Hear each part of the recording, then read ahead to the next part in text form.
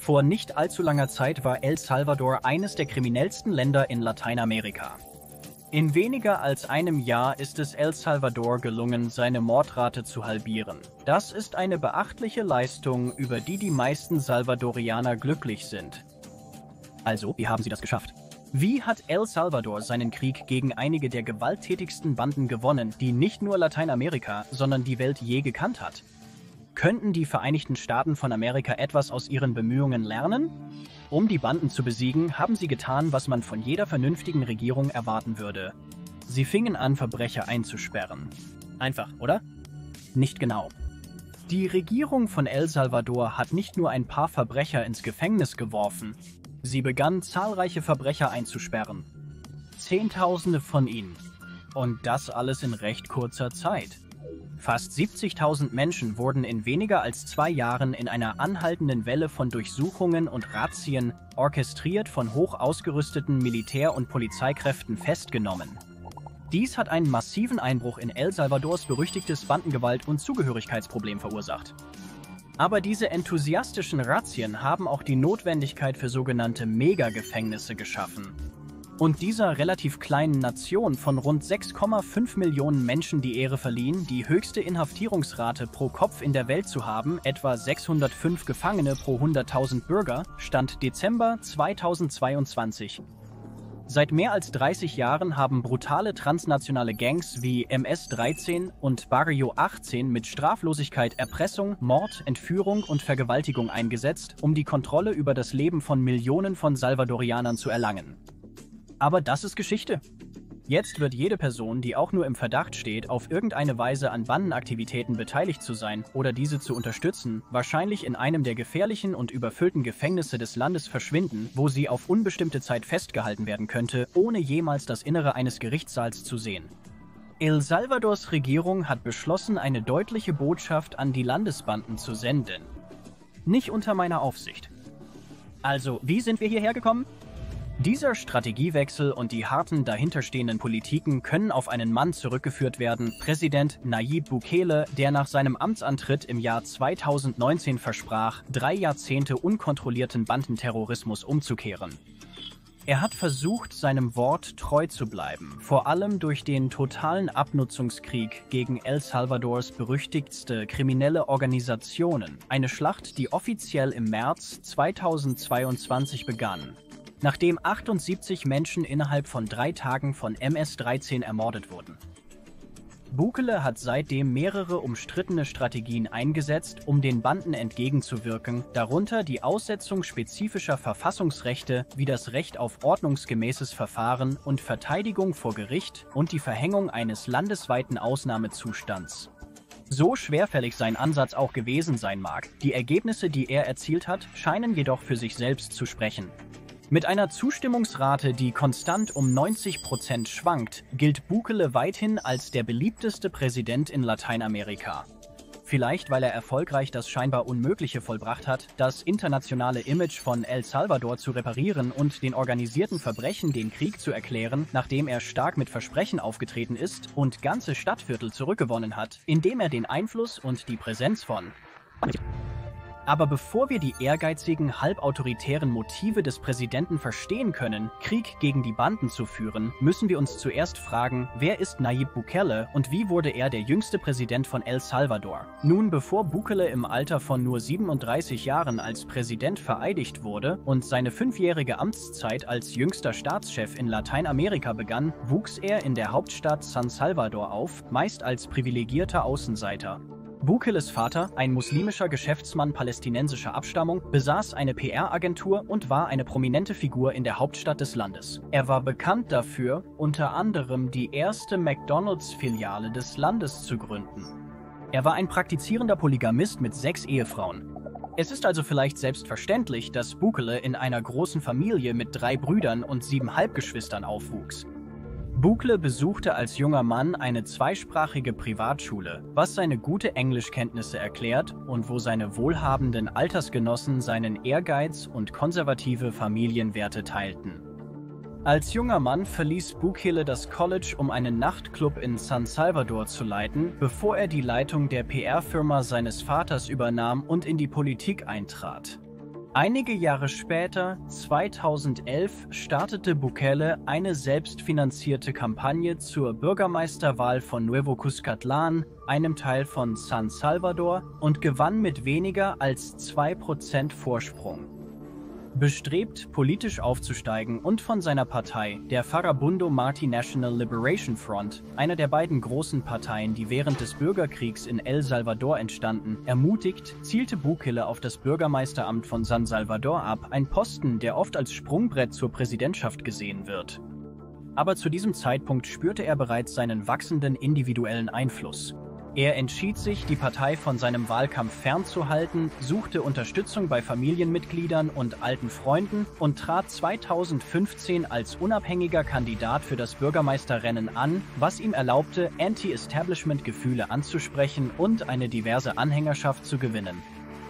Bukele, geboren 1981, ist an der Grenze zwischen Gen X und Millennial und kam, anders als viele ältere Vorgänger und Gegner, in der Ära des Internets und der sozialen Medien an die Macht.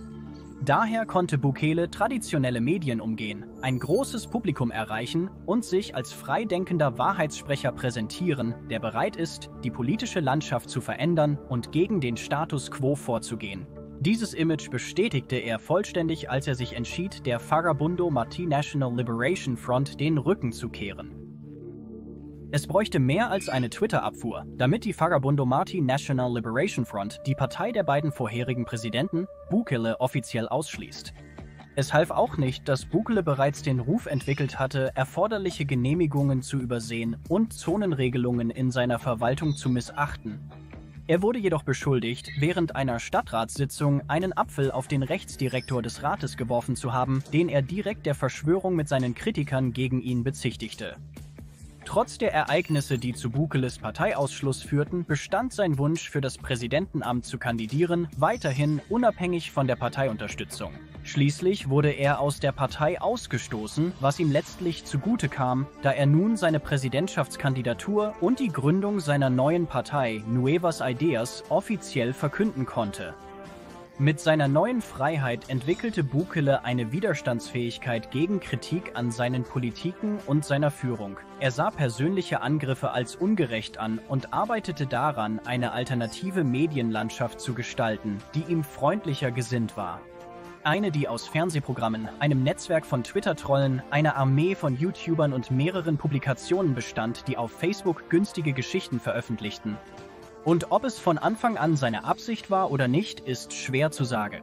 Aber indem er sich öffentlich von einer der großen politischen Parteien des Landes abwandte, konnte er sich als einsamer Krieger positionieren, der gegen politische Korruption kämpft, eine Haltung, die er deutlich machte, als er begann, den Wahlkampfslogan zu verwenden, es gibt genug Geld für alle, solange niemand stiehlt. Am Ende ging Bukeles ethisch fragwürdige Strategie auf und im Februar 2019 gewann er mit 53 Prozent der Stimmen die Präsidentschaft und trat eifrig in das politische Vakuum ein, das von den beiden nun diskreditierten historischen Parteien des Landes hinterlassen wurde. Bukeles schneller Aufstieg von einem Bürgermeister einer Kleinstadt zum Bürgermeister der Hauptstadt und schließlich zum jüngsten Präsidenten, den das Land je hatte, markiert ein neues Kapitel in der turbulenten politischen Geschichte El Salvadors. Oder so schien es zumindest. Trotz Bukeles hauptsächlich antikorrupter Plattform nahm seine Regierung schnell einen stark autokratischen Charakter an. Insbesondere nach den legislativen und kommunalen Wahlen zwei Jahre später, bei denen Nuevo Chideas 56 von 84 Sitzen in der Legislativversammlung und 152 von 262 Bürgermeisterämtern in El Salvador gewann. Die Wahlen wurden allgemein als frei und fair angesehen, aber es war dennoch ein Erdrutschsieg, der Bukele effektiv die Kontrolle über den Kongress des Landes gab. Doch wer ist Bukele wirklich? Ist er das echte Angebot, ein Verfechter des Wandels oder einfach ein politischer Opportunist mit unausgefüllten Versprechen? Nun, er hatte es sicherlich geschafft, Kontroversen zu erzeugen und eine ernsthafte Menge an Hype zu generieren. Bukeles Beliebtheit scheint trotz Verstärkung durch eine umfassende Propagandakampagne auch auf konkreten, positiven Resultaten zu beruhen. Seine zahlreichen Initiativen, darunter die Handhabung der Corona-Pandemie, die Beteiligung an öffentlichen Infrastrukturprojekten, das Streben nach einer Erhöhung des Mindestlohns und das Erhalten niedriger Benzinpreise, waren weit verbreitet und erfolgreich. Noch bedeutsamer ist vielleicht, dass er bei Millionen Salvadorianern ein Gefühl von Hoffnung und nationalem Stolz entfacht hat, einen vorsichtigen Optimismus, der auf der Vorstellung basiert, dass El Salvador endlich vorankommt. Aber vielleicht der größte Schub für Bukeles Beliebtheit und was sehr gut sein Vermächtnis als Präsident sein könnte, ist der Krieg, den er weiterhin gegen die tödlichsten Gangs des Landes führt. Für viele Lateinamerikaner ist Ganggewalt ein bedeutender Teil des Alltags. Erpressung, Entführung, Mord, Schmuggel und Brutalitäten haben seit den späten 90ern aufgrund der nach dem Bürgerkrieg zurückgebliebenen sozialen, wirtschaftlichen und politischen Instabilität angedauert.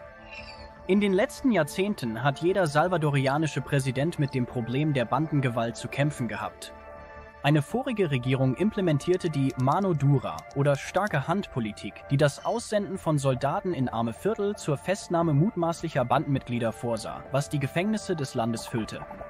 Eine andere Regierung setzte etwas um, das als Super Mano Dura bezeichnet wird, und Sie können wahrscheinlich erraten, wie das aussah. Dann kam jedoch Nayib Bukele, der als Bürgermeister von San Salvador ironischerweise solche aggressiven Polizeitaktiken kritisierte, sie als unpraktisch und unmoralisch bezeichnete. Nun, all das änderte sich innerhalb von drei Tagen, als Mitglieder der MS-13 in einer grausamen Mordserie 87 Menschen töteten, die das Land schockierte. In El Salvador war Bandengewalt schon immer ein Problem, aber das war anders. Diesmal waren hauptsächlich unschuldige Zivilisten ohne Bandenzugehörigkeit die Opfer und die Botschaft der Morde war speziell an Bukele gerichtet. Zwei Theorien erklären, warum Banden versuchten, Bukele einzuschüchtern. Der neu ernannte Präsident hat angekündigt, die bandenbezogene Kriminalität stark zu reduzieren, um das Image von El Salvador im Ausland zu verbessern. In dem Bestreben, ihre Macht zu demonstrieren, begannen MS-13-Mitglieder Menschen zu töten, hinterließen mindestens eine Leiche auf dem Weg zu Surf City, einem Küstenbereich, den Bukele renoviert und umbenannt hatte, um internationale Touristen anzulocken. Die andere Theorie ist ein bisschen komplizierter, wenn nicht surreal. Laut diversen Quellen, darunter die Vereinigten Staaten von Amerika, gemäß mehreren Quellen, einschließlich der US-Botschaft in El Salvador, dem US-Finanzministerium und der Online-Zeitung El Faro aus San Salvador, haben im Jahr 2020 zu Beginn von Bukeles Amtszeit mindestens zwei Regierungsbeamte direkt mit den Anführern der beiden größten Gangs El Salvadors, MS-13 und Barrio 18 verhandelt und einen vorläufigen Waffenstillstand hergestellt. Der Leiter des salvadorianischen Strafsystems, Osiris Luna Mesa, und Carlos Amilcar Marroquin Chica, Leiter der Einheit zur Wiederherstellung des sozialen Gefüges, stehen unter Verdacht, geheime Treffen mit inhaftierten Gangführern organisiert und einen geheimen Waffenstillstand geschlossen zu haben. Die Gangführer stimmten zu, politische Unterstützung zu leisten und die Mordrate zu senken im Austausch für staatlichen Schutz vor Auslieferung an die Vereinigten Staaten von Amerika, bessere Behandlung inhaftierter Mitglieder und finanzielle Anreize. Angeblich bekamen einige inhaftierte Gangführer spezielle Behandlungen, darunter Zugriff auf Handys und Prostituierte. Obwohl es starke Beweise gab, als die Nachricht über diese Verhandlungen im August 2020 bekannt wurde, leugneten Bukle und sein Büro vehement, dass ein solcher Deal jemals abgeschlossen wurde.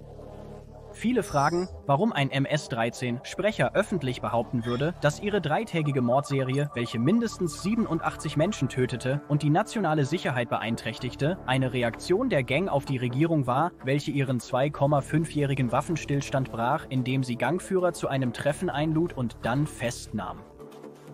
Ob geheimer Waffenstillstand oder nicht, Bukele zeigte, dass er nicht eingeschüchtert werden würde. Die Legislative Versammlung setzte im März 2022 kurz nach den Morden einen 30-tägigen Ausnahmezustand in Kraft. Dies gab den Behörden die Befugnis, verdächtige Bandenmitglieder festzunehmen und ohne Prozess auf unbestimmte Zeit festzuhalten. Das Treffen in Gruppen über zwei Personen, außer für religiöse Dienste, Sportereignisse oder kulturelle und wirtschaftliche Treffen, wurde auch für mehrere Monate strafbar. Die Legislative Versammlung modifizierte das Strafgesetzbuch, um 10 bis 15 Jahre Haft für Personen zu ermöglichen, die wegen Produktion oder Übertragung von visuellen Inhalten über Bandenaktivitäten verurteilt wurden. Zudem könnten alle Minderjährigen, die in Bukeles Kampf gegen die Banden involviert sind, als Erwachsene angeklagt werden. Für viele klingt das übermäßig hart, bestenfalls unterdrückend und im schlimmsten Fall autokratisch. Es ist wahr, viele unschuldige Menschen landen im Gefängnis, weil sie zur falschen Zeit am falschen Ort waren. Aber so unangenehm es auch sein mag, wir können nicht ignorieren, dass diese radikalen Veränderungen auch greifbare Ergebnisse gebracht haben. Es war bekannt, dass vor Bukele Bandenmitglieder jeden anhielten, der in fremden Bandengebieten lebte, unabhängig vom Grund oder ob sie öffentliche Verkehrsmittel nutzten. Die Menschen mussten einen Regierungsausweis vorzeigen, um ihre Adresse zu bestätigen. Falls sie in einem rivalisierenden Bandengebiet lebten, konnten sie abgewiesen, geschlagen oder sogar getötet werden. Unternehmen mussten Bestechungsgelder zahlen, um in bestimmten Bandengebieten tätig zu sein. Aber als Bukeles 30-tägiger Ausnahmezustand immer wieder verlängert wurde und die Bandenaktivität im ganzen Land weiter abnahm, hat die Bewegungsfreiheit für Zivilisten stetig zugenommen. Obwohl der Ausnahmezustand keine spezifischen Reisebeschränkungen beinhaltete, warnte Bukele vor dessen Genehmigung, dass er temporäre Schließungen in einigen Gebieten mit sich bringen könnte. Dies beschränkte meist durch Regierungssicherheitskräfte und Polizei den Zugang zu bestimmten einkommensschwachen Gemeinden, die als Brennpunkte für Bandenaktivitäten bekannt waren. Jetzt, mehr als anderthalb Jahre nach dem Ausnahmezustand in El Salvador, der hauptsächlich durch weitreichende Verhaftungen, übermäßige Gewalt, den Abbau vieler bürgerlicher Freiheiten und fortgesetzte Vorwürfe von Menschenrechtsverletzungen gekennzeichnet war, bleibt Bukele unerschütterlich dabei, dass dies immer Teil seines Erfolgsrezepts war. Sein Plan, so hat er gesagt, war immer davon abhängig, von etablierten Strategien abzuweichen, um voranzukommen, trotz Kritik, selbst als Vertreter der Vereinigten Staaten und der Europäischen Union ihn wegen einiger seiner fragwürdigeren Aktionen als Präsident kritisiert haben, hauptsächlich seine absichtliche Manipulation der Verfassung des Landes, die ihn daran gehindert hätte, für eine zweite Amtszeit zu kandidieren. Bukeles übliche Reaktion auf die Intervention ausländischer Regierungen war, den Vereinigten Staaten von Amerika und der EU zu signalisieren, dass es nicht ihr Anliegen ist und gleichzeitig zu betonen, dass El Salvador auf der Weltbühne eine vergleichsweise geringe Rolle spielt. Bukele sagte, El Salvador habe seit Jahrzehnten getan, was andere Nationen für das Beste hielten. Unter dem Schutz fremder Mächte übergab die Regierung das Land an die Rechte. Die Macht wurde unter dem Schutz externer Agenten an die Linke übergeben. Das Ergebnis dieses Hin und Her waren lediglich mehr Armut und Gewalt, während System, Institutionen und Gesetze im Grunde unverändert blieben. Trotz Bukeles autokratischem Präsidentschaftston hat sein territorialer Kontrollplan seit Mitte 2019 die Mordrate in El Salvador halbiert und eine breite öffentliche Unterstützung mit 95% Zustimmung der Salvadorianer zu den neuen Sicherheitsmaßnahmen gewonnen. Da die Gangs seit langem große Teile des Landes kontrollieren und Geld für die Erlaubnis selbst der grundlegendsten wirtschaftlichen Aktivitäten verlangen, hat dies die Durchgreifaktion weitgehend populär gemacht. Bisher hat Bukeles Kampf gegen die Gangs Kontrollpunkte, sporadische Befragungen und massive Razzien beinhaltet. Kürzlich breitete sich eine Armee von etwa 1000 Polizisten und 7000 Soldaten über die Provinz Cabañas aus und richtete Kontrollpunkte auf allen Zufahrtsstraßen ein. Es gab viele andere solche Überfälle, an denen Tausende von Truppen und Beamten beteiligt waren, aber dieser jüngste folgte auf einen Angriff auf ein Polizeipatrouillenfahrzeug, bei dem zwei Beamte verletzt wurden. In früheren Überfällen trieben Regierungstruppen und Polizei große Menschenmassen zusammen, oft lediglich basierend auf ihrem Aussehen und Wohnort. Es wurden auch Massenanordnungen durchgeführt, bei denen Richter gleichzeitig mit 50 bis 500 Angeklagten konfrontiert wurden. Leider wurden bei diesen umfassenden Urteilen Dokumente und andere Beweise, die für den Charakter der Angeklagten sprechen könnten, regelmäßig ignoriert. Nicht nur hat der Kongress von El Salvador aufgrund der steigenden Verhaftungszahlen und Zehntausende von ausstehenden Prozessen begonnen, Massenverfahren zu erlauben, was bei verschiedenen Menschenrechtsgruppen Alarm ausgelöst hat.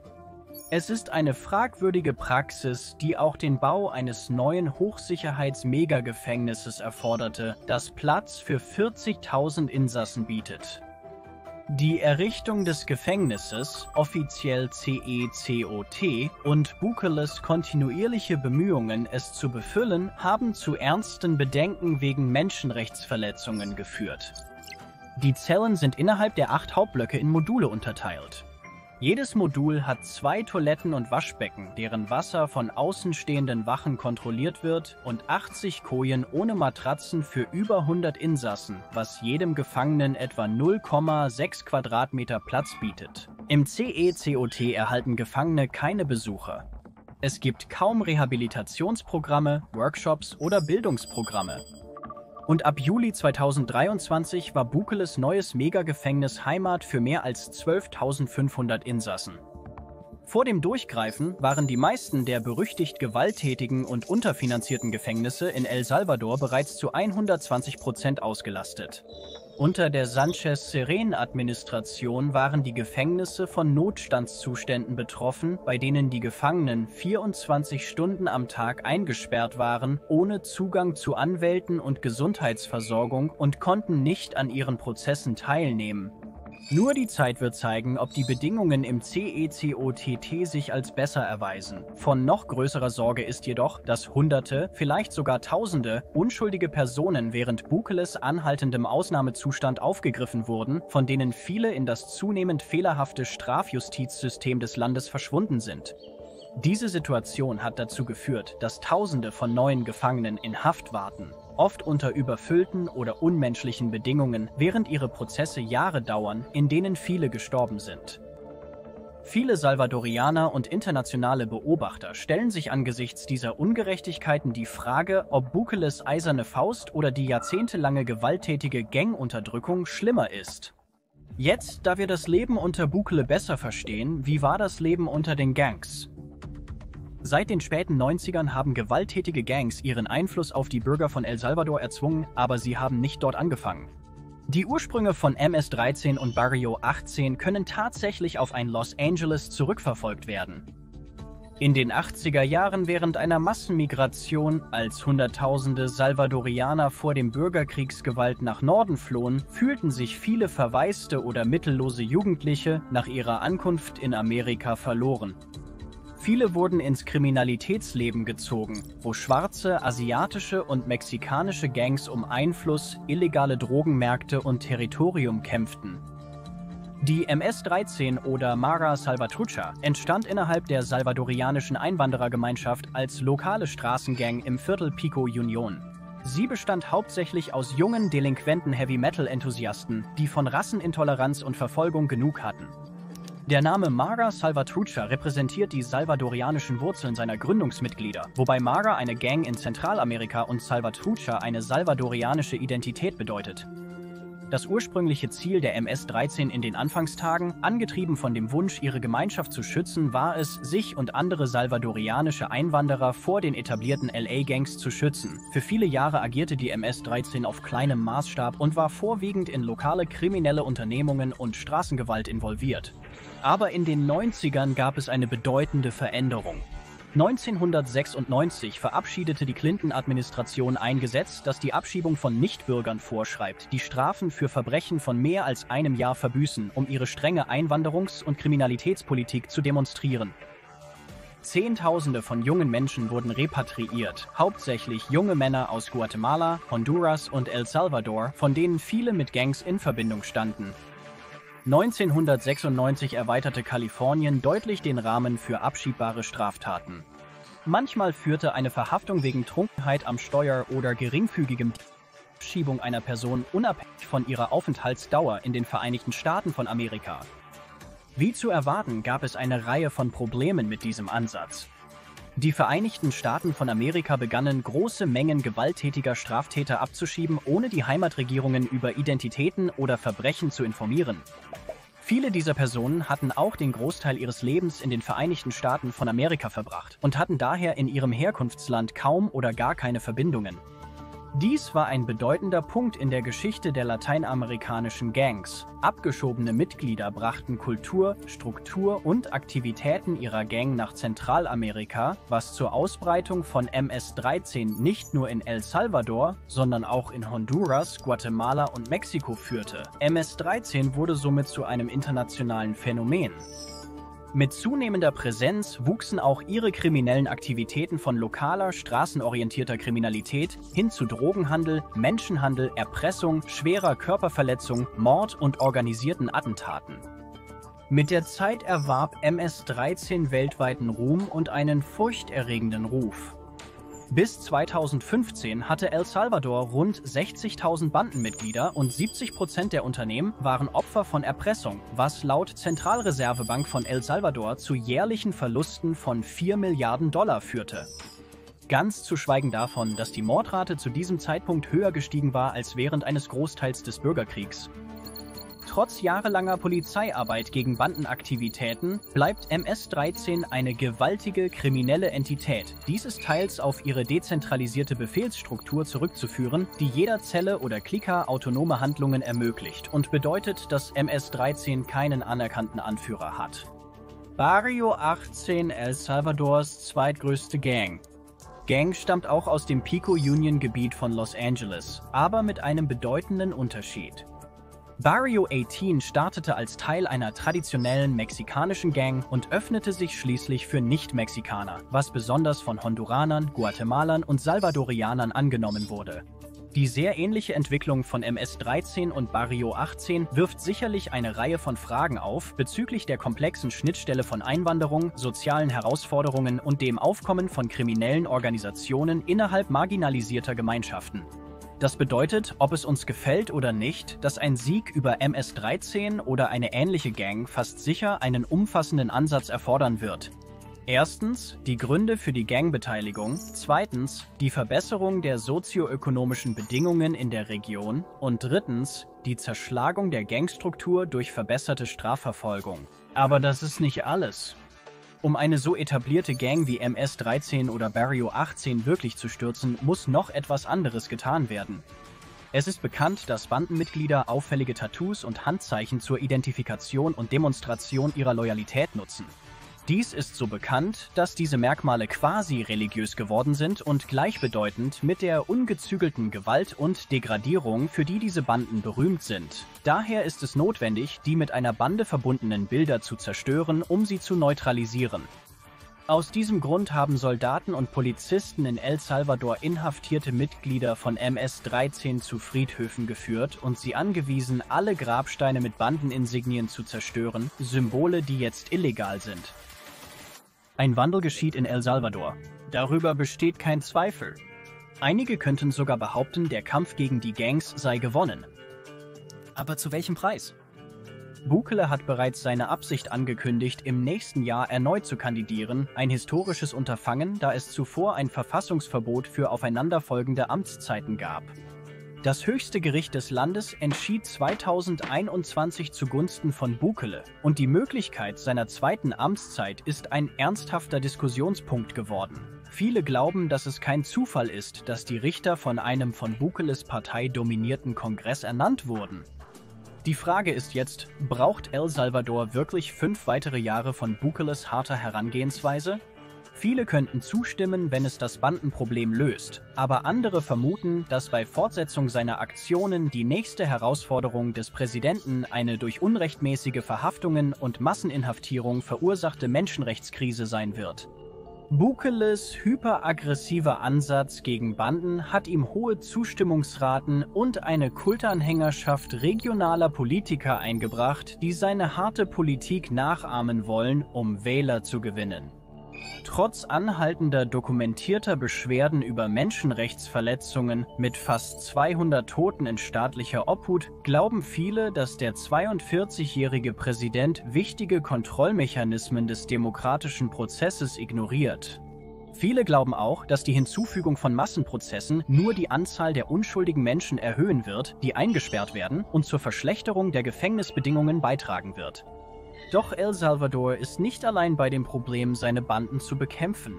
Tatsächlich erleben viele Nationen, insbesondere Gewalt, Schießereien und Bombenanschläge im Zusammenhang mit Banden in einem Ausmaß, das noch nie zuvor gesehen wurde. Eine Eskalation der Bandengewalt hat sich von der Hauptstadt Haitis, Port-au-Prince, bis zu seinen beiden anderen großen Städten ausgebreitet, was in den letzten Monaten zu einer deutlichen Zunahme von Morden, Entführungen und sexueller Gewalt geführt hat. Seit 2021, nach der Ermordung von Präsident Jovenel Mais, wird Haiti von politischer Instabilität geplagt und als Folge davon haben die Banden ihre Macht weiter ausgebaut, bis sie über 80 Prozent des Großraums Port-au-Prince kontrollieren. Weil die Korruption auf so vielen Ebenen in Haiti endemisch bleibt, haben die Banden weiterhin straflos agiert. Da wäre zum Beispiel eine kürzliche Überprüfung der Richter und Staatsanwälte des Landes. Etwa ein Drittel der bewerteten Personen verlor ihre Zertifizierung wegen mangelnder moralischer Integrität, ungültigen Qualifikationen oder unrechtmäßiger Freilassung von Kriminellen.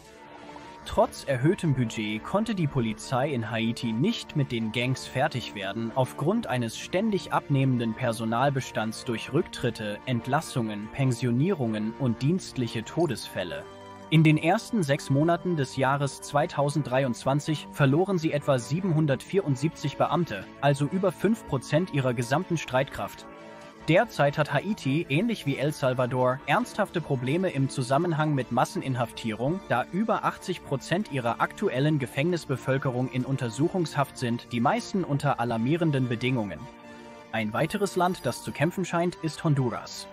Die aktuelle Präsidentin Xiomara Castro hat, inspiriert von Bukele, den Krieg gegen bandenbezogene Erpressung ausgerufen, ein ernstes Problem, das ihrer Ansicht nach wirtschaftliche Stagnation und Gewalt fördert und viele Honduraner zur Auswanderung zwingt.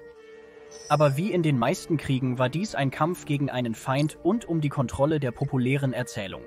Die honduranische Regierung kämpft gegen Vorwürfe, nicht genug gegen Kriminalität getan zu haben. Viele verzweifelte Honduraner fordern extreme Maßnahmen und scheinen bereit, einige ihrer verfassungsmäßigen Rechte für Sicherheit einzutauschen. Deshalb scheint Bukeles Siegesstrategie um jeden Preis und die daraus resultierenden positiven Ergebnisse in Honduras Anklang gefunden zu haben.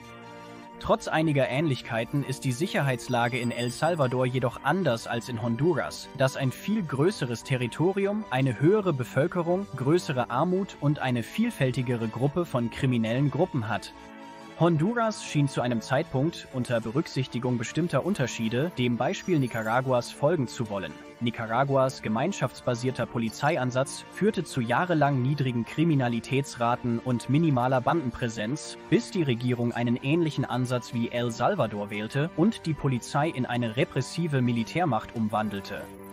Honduras unternahm nach der Ankündigung eines Gemeindepolizeimodells Schritte zur Entmilitarisierung seiner öffentlichen Sicherheitskräfte, um das Vertrauen in eine historisch korrupte Institution zu stärken. Dennoch waren die potenziellen politischen Gewinne durch die Nachahmung von Bukeles Ansatz zu verlockend, so dass Honduras im Dezember 2022 seinen eigenen Ausnahmezustand erklärte. Dieser erlaubt die Aussetzung bestimmter verfassungsmäßiger Rechte und die Inhaftierung von Verdächtigen kriminellen Verhaltens und wurde seitdem mehrfach verlängert.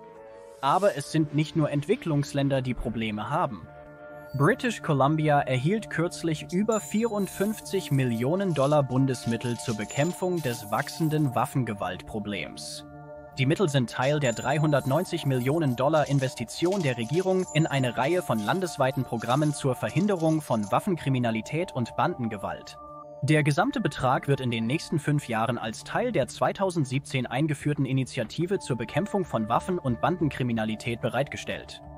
Die Sorgen um Banden sind in BC weitergewachsen, da der zehn Jahre alte Lower Mainland Gang Konflikt, ein Bandenkrieg, der aus einem lokalen Streit hervorging, der im Stadtteil Townline Hill in Abbotsford begann, sich auf die gesamte Provinz ausweitete, als Banden, die einst im Raum Vancouver zentriert waren, begannen, sich in der Provinz zu bewegen, ihr Drogengebiet auszuweiten und dadurch Gewalt zu verbreiten.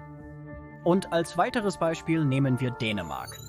Um die steigende Bandenkriminalität zu bekämpfen, hat die Regierung kürzlich ein neues Paket mit 39 Anti-Banden-Maßnahmen vorgestellt. Dazu gehören strengere Vorschriften für Jugendliche und ein Appell an die Familien, mehr Verantwortung zu übernehmen. Das Paket umfasst strengere Strafen für Bandenmitglieder, weitere Polizeiinstrumente und Maßnahmen zur Verhinderung der Bandenrekrutierung von Jugendlichen. Dies war ein besonders wichtiges Anliegen für die dänische Regierung. Die unverfrorene Rekrutierung von Kindern durch Banden und deren aktive Beteiligung an Verbrechen war erschütternd. Schießereien und Messerstechereien sind problematisch geworden, daher richten sich viele neue Maßnahmen gegen den Einsatz gefährlicher Waffen, einschließlich höherer Strafen für Bandenmitglieder, die Messer zur Gewaltanwendung verwenden, und strengeren Strafen für Messerbesitz. Die dänische Regierung hat auch härtere Strafen für Wirtschaftsverbrechen und sogenannte Demütigungsgewalt festgelegt, die als emotionale Misshandlung definiert ist, die darauf abzielt, bei den Opfern ein Gefühl der Scham oder Wertlosigkeit zu erzeugen. Aber Dänemark ist nicht das einzige skandinavische Land, das Probleme hat. Historisch gesehen ist Schweden eines der friedlichsten Länder der Welt in jüngster Zeit einer Welle von Bandengewalt ausgesetzt, wie sie es noch nie zuvor erlebt hat. Schweden verzeichnete 2022 über 60 Tote bei Schießereien, die höchste jemals registrierte Zahl, und könnte diesen Rekord 2023 erreichen oder übertreffen. Medienberichte verknüpfen den jüngsten Gewaltanstieg mit einer Fehde zwischen Rivalen der kriminellen Bande Foxtrot oder dem Foxtrot-Netzwerk, dem Hauptlieferanten illegaler Drogen in Schweden. Und es scheint, dass Schwedens Premierminister Ulf Kristersson gerade genug hat. Er traf sich kürzlich mit dem Chef des Landesmilitärs, um zu besprechen, wie sie zusammenarbeiten könnten, um diesen beispiellosen Anstieg von Schießereien und Bombenanschlägen einzudämmen. Schweden konnte jahrelang sein relativ kleines Problem mit Bandengewalt bewältigen. Aber jetzt, mit fast täglichen Vorfällen und vielen der Opfer, die Teenager und unschuldige Passanten sind, ist die Eskalation der Bandengewalt unmöglich zu übersehen. Die schwedische Regierung hat als Reaktion auf die Veränderungen in der Kriminalität des Landes begonnen, ihr Strafgesetzbuch zu überarbeiten. Ziel ist es, die Polizei- und Machtbefugnisse auszuweiten, längere Haftstrafen zu ermöglichen und einen verbesserten Zeugenschutz zu gewährleisten. Premierminister Kristersson betonte die Notwendigkeit rechtlicher Reformen und erklärte, schwedische Gesetze seien nicht für Bandenkriege und Kindersoldaten ausgelegt. Um die Sache noch schlimmer zu machen, ist bekannt, dass Schwedens Banden Jugendliche aus benachteiligten Einwanderervierteln rekrutieren, was unweigerlich Fragen zu Schwedens historisch liberaler Einwanderungspolitik aufwirft. Schwedische Gesetzgeber haben letztes Jahr die Einwanderungsgesetze verschärft, in der Hoffnung, die ansteigende Kriminalität und andere soziale Probleme im Land zu verringern. Dies markiert einen drastischen Wandel für das Land, da Schweden neben Deutschland lange Zeit für andere europäische Nationen hervorstach, indem es bereitwillig Hunderttausende von Asylsuchenden aus dem Nahen Osten und Afrika willkommen hieß. Die von Christensens Mitte-Rechtsregierung, die letztes Jahr an die Macht kam und einen harten Kurs gegen Kriminalität versprach, umgesetzte neuen Politiken haben leider wenig zur Eindämmung der Gewalt beigetragen. Dänische Führer haben darauf hingewiesen, dass viele Gangs des Landes aus jungen Menschen mit Minderheitshintergrund bestehen, die nach Integrationsproblemen gezwungen waren, Gemeinschaft und Sicherheit anderswo zu suchen. Die Tatsache, dass Bandengewalt und Einwanderung komplexe Themen sind, die seit langem miteinander verflochten sind, kann wirklich nicht unterschätzt werden. Das bedeutet, verschiedene soziale, wirtschaftliche und politische Faktoren müssen berücksichtigt werden, um diese Themen wirklich zu verstehen. Drastische Änderungen in der Einwanderungspolitik und die Stigmatisierung von Einwanderergemeinschaften werden das Problem nur weiter verkomplizieren. Menschen migrieren oft, um Gewalt, Armut oder politische Instabilität zu entkommen und bessere Wirtschaftsaussichten zu suchen, trotz Hindernissen für die soziale und wirtschaftliche Integration. Deshalb wird ein umfassender Ansatz erforderlich sein, um diese Probleme effektiv anzugehen. Ein Ansatz, der Gangbeteiligung bekämpft, soziale und wirtschaftliche Integration unterstützt und inklusive Politiken fördert, um Einwanderern zu helfen, in ihren neuen Gemeinschaften zu gedeihen. Denn leider sind junge Menschen mit begrenzten Möglichkeiten, die in benachteiligten Vierteln leben, derzeit Hauptzielgruppen für die Anwerbung von Gangs. Ausweitende oder aufkommende Drogenmärkte haben in vielen westlichen Ländern zu vermehrten territorialen Streitigkeiten geführt, wodurch der Kreislauf der Gewalt fortgesetzt wird. Denn bei steigender Nachfrage nach illegalen Drogen in einer Region wächst auch der Konkurrenzkampf um die Kontrolle des resultierenden Marktes. Es scheint, dass eine angemessene Lösung dieses Problems einen ganzheitlichen Ansatz benötigt. Einen, der sowohl territoriale Streitigkeiten als auch die steigende Nachfrage nach illegalen Drogen angeht. Aber wir würden gerne deine Meinung zu diesem Thema hören. Ist Bukeles strenge Methode die einzige Lösung gegen Bandengewalt? Wie hängen Einwanderung und Bandenbeteiligung zusammen? Besteht ein Zusammenhang zwischen vermehrter Bandenaktivität und illegaler Drogennachfrage? Teile uns deine Gedanken in den Kommentaren unten mit. Wenn dir dieses Video gefallen hat, siehe dir unser Video über die unentrinnbare Geografie von Alcatraz oder ein anderes über eine noch schlimmere Insel an. Danke fürs Zuschauen.